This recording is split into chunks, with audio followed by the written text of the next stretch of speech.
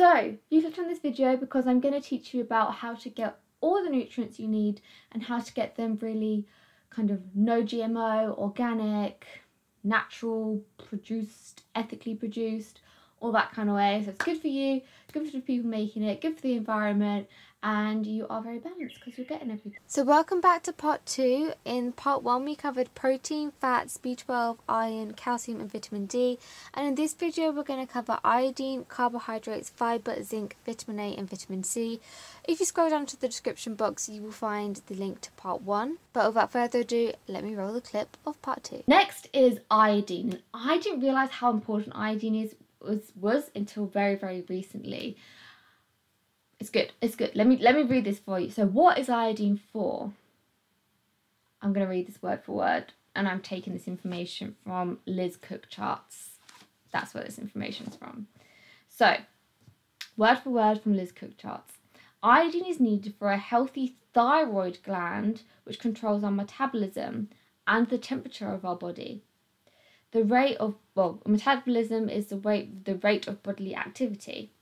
It is also needed for energy for the hair, skin, nails, and teeth. And I'm trying to get my hair really healthy because I've just bleached it. Well, I've dyed it back brown now, but I've, I've been bleaching it for the past year. So I was like, oh my god, what can I take for my hair? And iodine is like such a big one um, for like the beauty, health stuff. Um, well, obviously for your thyroid as well. Your thyroid is so underrated, especially when you get older. You kind of realize how important your thyroid is because it tends to stop working as much. Um, and that's why a lot of old people overheat or get too cold um, and gain a lot of weight because the thyroid is so important for just maintaining our body and the thyroid is right here so make sure that's not happening too much if you know what I'm saying. Oh my god I can't believe I just said that. Shall I keep that in? That's so bad. Okay, how much? Sorry I'm reading all of this, but this is so specific that I can't remember it. I physically can't remember it. So, how much should we take? The recommended amounts are 70 micrograms a day for a one year old to a three year old, 100 micrograms a day for a four year old to a 10 year old, 140 micrograms per day for an average adult. So we don't need that much iodine, but it is important and you can take it as a supplement to help with things like hair, skin, nails, and teeth. Now, what happens if you don't get enough iodine? Well, this is a possibility, it says. Oh no, maybe I don't have enough iodine. Okay, so you have cold hands and cold feet, which I have in winter all the blooming time. So maybe I need to get some more iodine in my body. It can cause nervousness and obesity because obviously the thyroid making you more imbalanced. But also be aware we don't want to overdose on iodine because too much of it is toxic to our body. This is why it's measured in micrograms because it could be dangerous. So I'm going to tell you where to get your iodine from as long as you eat a balanced diet, you'll be okay. But don't have so much of these ways to ingest it and take iodine supplements on top because it's toxic. I don't know how much of it is toxic, I'll admit that, but yeah, just letting you know. The iodine is found in places where iron is found as well, but mainly in leafy green vegetables. So spale, spale? Kale, spinach, broccoli, asparagus has a lot of iodine in it as well, um, and some supplements you can take like your hair has iodine as well. And you can just buy like pure iodine, which you normally have at schools, um, and you can take that as well because it's a perfect antibacterial, much better than coconut oil as well. So yeah. Okay, moving on to one which we've probably all heard of, we get taught this in school, is carbohydrate now. We should all know what carbohydrates are. It's things like oats, potatoes, pasta, bread, um, cereals, muesli, beans, lentils. We know our carbohydrates, okay? We got that down. But what are they for?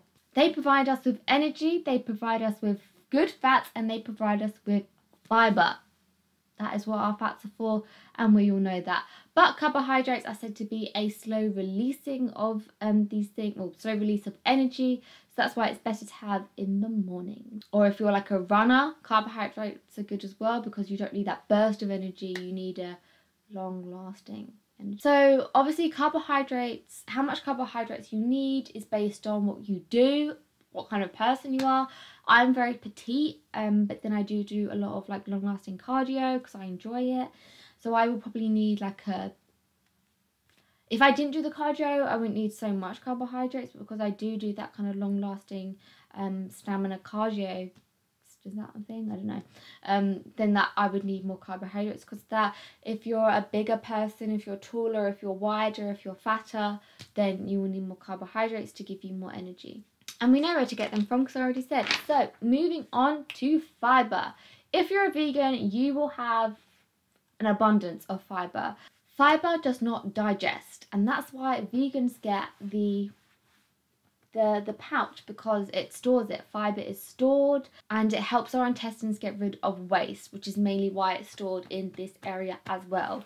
Um, and yeah, I guess it just gets like burned off, used up like petrol.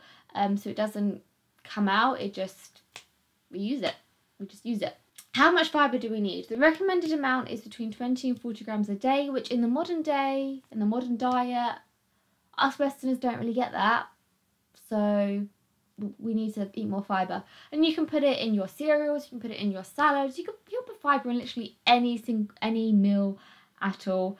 Um, and yeah, fibre just makes you feel good. Like when I have a lot of fibre, I just feel like I'm like jumping off the walls. I love it. Where can you get fibre from? You can get it from whole grains, you can get it from beans, lentils, fruits, vegetables, nuts, seeds. Seeds is where I get most of my fibre and I literally put seeds in everything, a load of different seeds. Okay, next is zinc. And then zinc. Let me know if you get that. Zinc is needed for um, your what's it called? Immunity.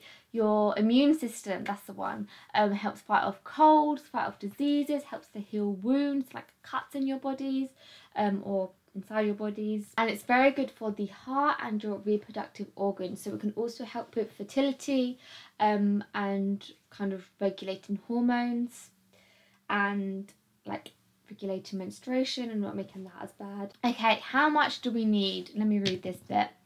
So four to seven milligrams for children, nine milligrams a day for teenagers, and seven to nine milligrams a day for adults. Where, where can we get this zinc, you ask? Okay, this is found in whole grains. It's found in nuts, found in tofu, found in leafy greens, found in seeds, found in almonds especially, um, and pumpkin. So we can get the zincness in this season. I don't know why I'm talking so weird. I don't know what's got into. I haven't, I haven't had my vitamins yet today. Maybe that's why. So what happens if you don't have enough zinc? Well, you could be sterile. Yep. If you're finding it hard to conceive, up that zinc because you might get a baby.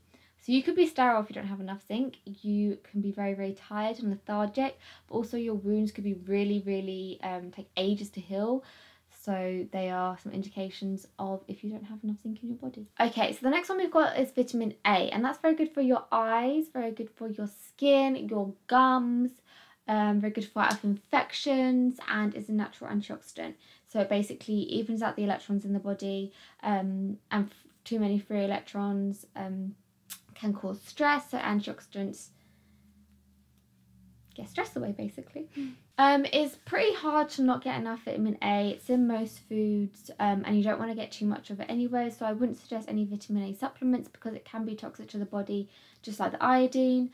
But again, if you're having a balanced diet, then you're not going to be able to kind of overdose on vitamin A. So you won't accidentally like poison yourself or anything unless you're actively trying to poison yourself with vitamin A. So it's unlikely to not have enough vitamin A in your body, but sometimes it does happen. And the ways you can find this is if you have really sore gums a lot, you have skin problems that just won't seem to be fixed, and if you your eyes don't adjust in dark rooms um, and you just can't see anything at night time then that could be a result of lack of vitamin A in your body. And you can get vitamin A in yellow and orange, basically yellow and orange um, fruits and vegetables. So you can get it in peppers, mangoes, carrots, apricot. You can get it in margarine again, you can get some green vegetables like spinach, kale, broccoli, watercress. Um, so yeah, so basically I'd go for the more warmer toned orange and yellow foods which will have a higher vitamin A count in them. And vitamin A is fat soluble, so as long as you're getting enough um,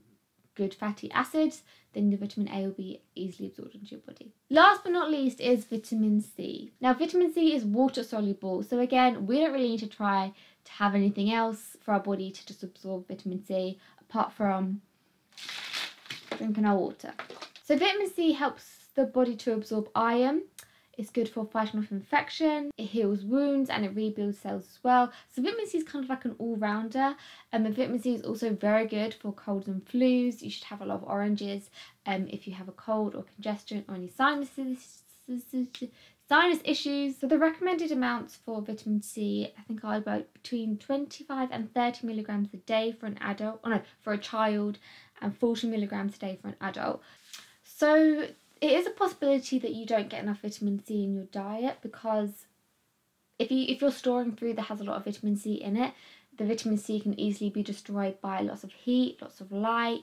Um, so just keeping it well stored, the food that has vitamin C in it, so you can actually get it rather than it just being destroyed. And try and eat raw foods and like steaming foods um, that have vitamin C in it because otherwise, like if you boil it, then you're just putting all the, the nutrients down the drain um, because all the nutrients come out basically when you boil things. So try and have it raw or steamed. So what is vitamin C found in? Well, I already said it's found in oranges. You can find it in other kind of berries. You find it in strawberries, mangoes, blackcurrant, um, peas, frozen peas even, broccoli, potatoes, leafy greens, and parsley as well. So that's where you can find vitamin C in.